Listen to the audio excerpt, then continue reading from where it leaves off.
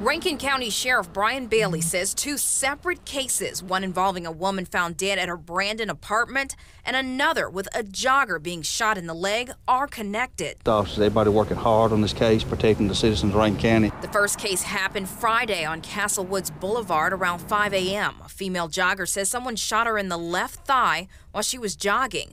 Before they knew the cases were connected, deputies say they were looking to throw the book at the suspect.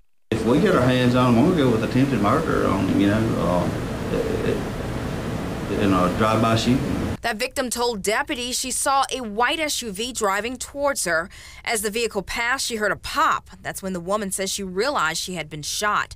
She described the driver of the vehicle as a white male with facial hair, wearing a ball cap, in his mid 20s. Late Friday, deputies discovered a second crime with a similar vehicle description. Rankin County Sheriff Bryan Bailey says around 4:20 Friday, family members called deputies and asked them to do what's called a welfare check here at the Vineyard at Castle Woods Apartments.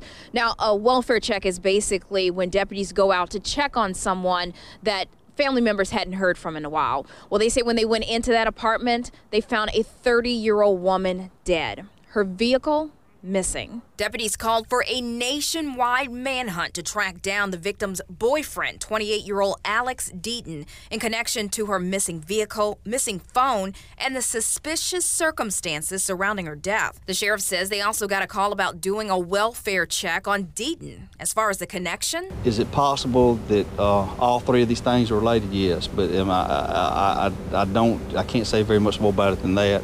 In Rankin County, Tammy Eswick, 16 WAPT News.